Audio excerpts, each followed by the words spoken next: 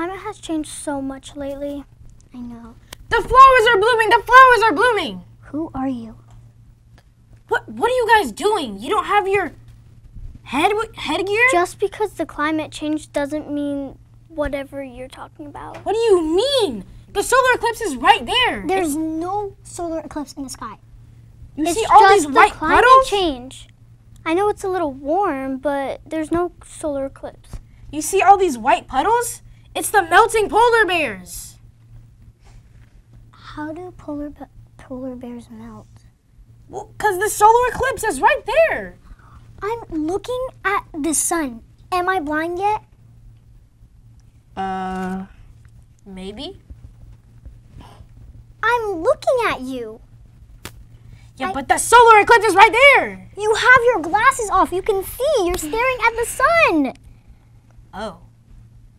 It's just the climate change. Well, here's a story about the climate change by Ella. The flowers are still blooming. Over the years, climate change continuously becomes a bigger issue. Climate change is a long term change in the average weather patterns that have come to define Earth's local, regional, and global climates. As a result of climate change, many glaciers around the Arctic Circle and nearby icy areas have been melting by 750 billion tons a year. Many scientists believe that by the time 21,000 comes along, more than a third of Earth's remaining ice, glaciers, and snow will melt away almost completely. The issue with this is that it's causing many Arctic animals to have a loss of habitat, cause droughts, make severely hot weather conditions, worsens air quality, and climate change also causes health problems like heat stroke, and the bad air quality can give people serious asthma or respiratory issues, and it even causes cardiovascular health effects, which are conditions that affect your heart and blood vessels. All these elements happen to many humans and animals when it comes to climate change, and with our rising sea levels and the problems we have already been facing with the different weather problems, is just feeding to these issues that all connect with climate change. And many scientists believe that if we don't act quickly by the year 3000, climate change will be almost impossible to reverse. For the Rocket Report, I'm Ella. What are you guys doing out there? We're getting crushed. We're trying our hardest, coach. Well, try your best then. They're like six feet tall, coach. Get taller. It's not that easy. But all you have to do is power through this, okay? But all we need is two baseball goals, okay? this is Ries basketball, sir. Are you questioning my basketball experience? I've been in the basketball in- industry for 55 years, which is my entire lifetime, okay? Now all you need is this golf putter, okay? So we can win this game, okay? Okay. Basketball on three. One, two, three, golf! basketball. Huh? Just get back in the game. This is Ries Basketball by Kelsey Luke. I said use the putter! Oh, my bad. This January at Ries, many were excited for our new basketball team. The basketball team's practice is right after school hours and ends at 5 o'clock on Tuesdays and Thursdays. Tryouts had 60 applicants attempting to gain one of the 32 spots. Among the three basketball teams, there is one team for girls and two teams for boys. The girls' teams are coached by Miss DeMacy, Miss Bradshaw, and Miss Leanne, and the boys' teams are coached by Coach D and Coach Abe. On every Saturday, the basketball teams have games in Physis Middle School. Each team won a placing in the middle school and elementary school tournament. Coach D's team won first place, and Coach Abe's team won third place. The girls' teams won second place, and all of the teams worked super hard during the last basketball season.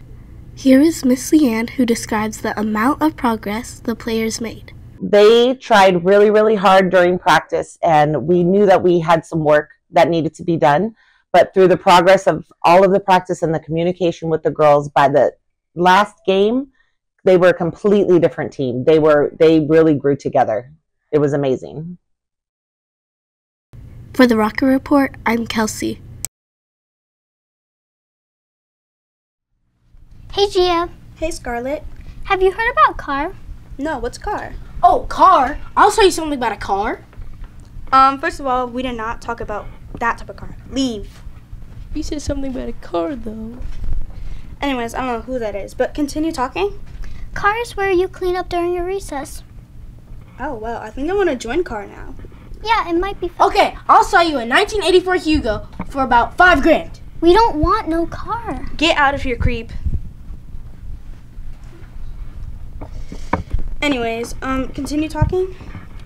Cars where you clean oh, up. sorry to interrupt you. It's but okay. What time do you normally go? You go during your recess. Wow, I think I might tell my friends about car. It could be. Okay, okay. I'll sell you this view for about two dollars and a chicken sandwich. Not that type of car. And what is that? It's a 1984 Yugo. You said something about a car. Not that type of car. This is a story about car, written by Jolene.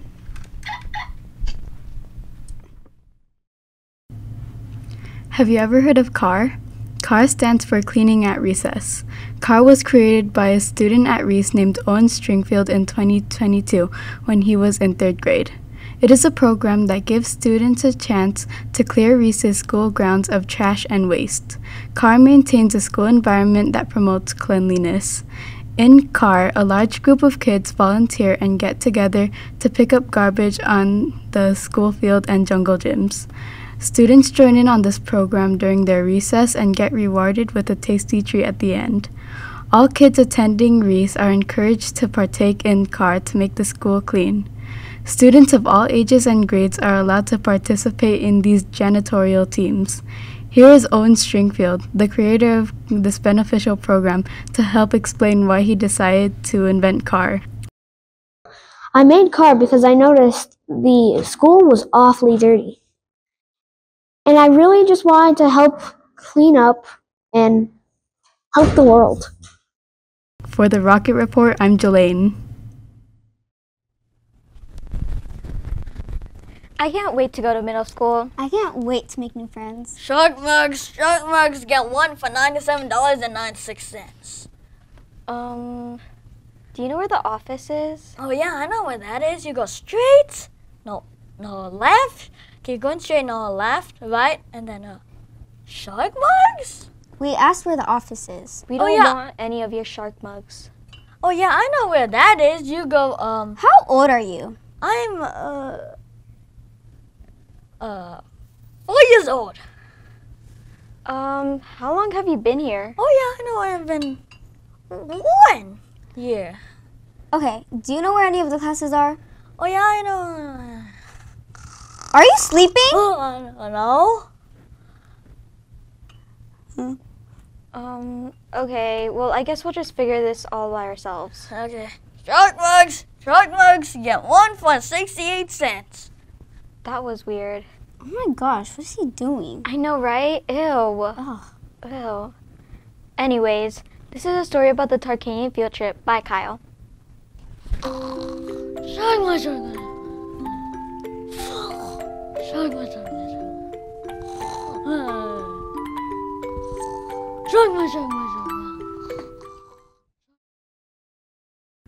This past spring, fifth grade students took the annual field trip to Tarkanian Middle School. The field trip contained a tour around the school, and fifth graders got to choose their electives for future classes in sixth grade. When they arrived at Tarkanian, fifth grade was immediately greeted by the cheerleaders and student council. Elementary students were welcomed in the school gymnasium by Tarkanian principal, counselors, teachers, and students. Each of the elective classes were introduced, such as Pom Squad, Orchestra, Band, and Honor Choir. Then each group performed for the fifth grade students to show what their classes are about and what they can do. The performances were exciting, fun, and were filled with large amounts of energy. Then student council guided fifth graders to important stops like the cafeteria and the student success office. After the tour, it was time for fifth graders to choose their electives in the computer lab. The Tarkanian counselors and members of the student council helped fifth graders choose their electives for sixth grade. They also helped answer questions and provided information about the electives and school procedures. For the Rocket Report, I'm Kyle.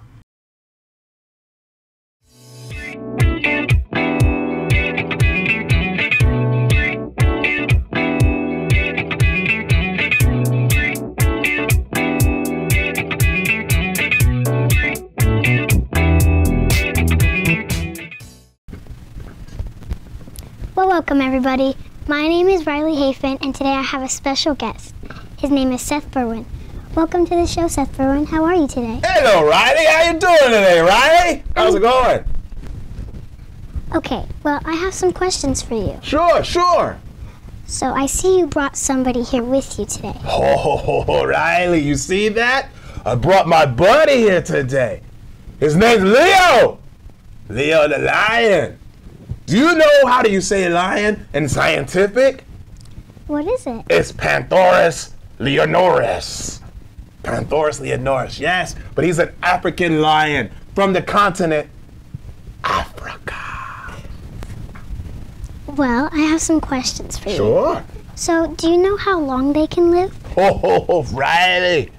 I tell you what, African lions live to be about 14, 15 years old, like a teenager. Mm-hmm. But they actually clean up their rooms.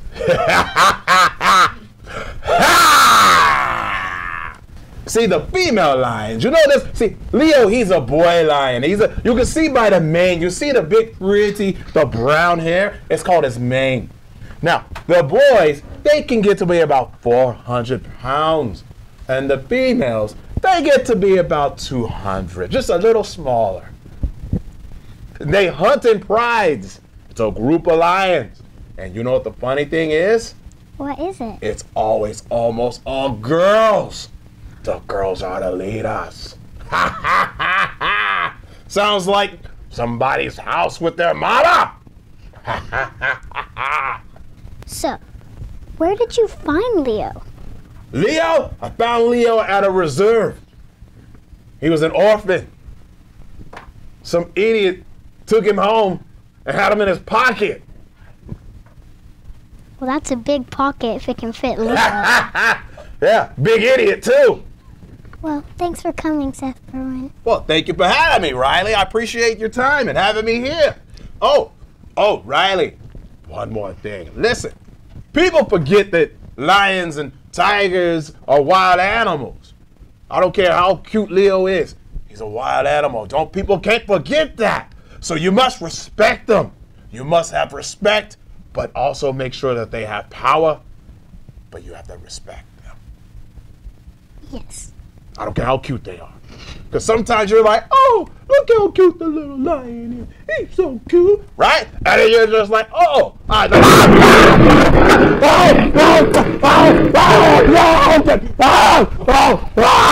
Well, thanks for watching. I hope this guy learned his lesson. Oh, 911. Oh, and by the way, here's a story about the lion habitat by Gia.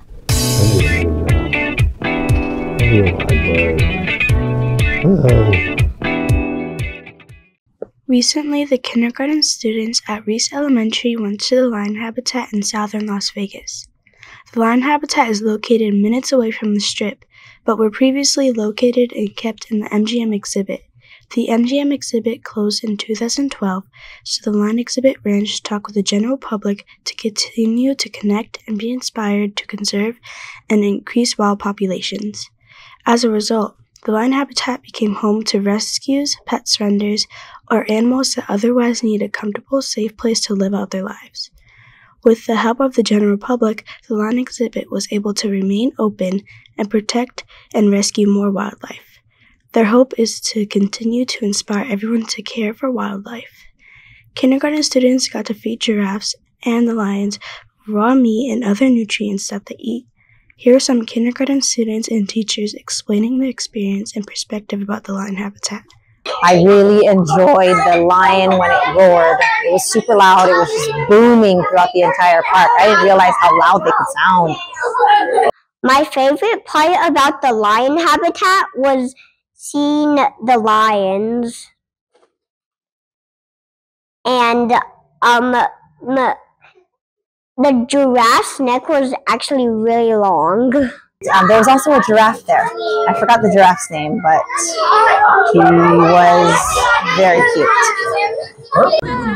For the Rocket Report, I'm Gia Williams.